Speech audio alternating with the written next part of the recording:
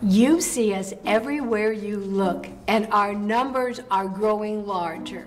In the next three years, it is estimated there will be 106 million baby boomers over the age of 55 in the United States. In fact, you could say your job depends on it.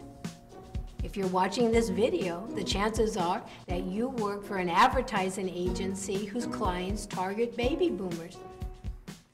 Remember, drive through make it your own isn't just a catchphrase for fast food restaurants. It's about how people and brands can reinvent themselves by making each and every experience their own.